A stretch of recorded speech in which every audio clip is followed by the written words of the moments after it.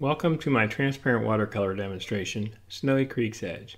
This video is set to music at 3x speed and is the companion video to my Snowy Creek's Edge tutorial which is narrated in step-by-step -step instructions at normal speed.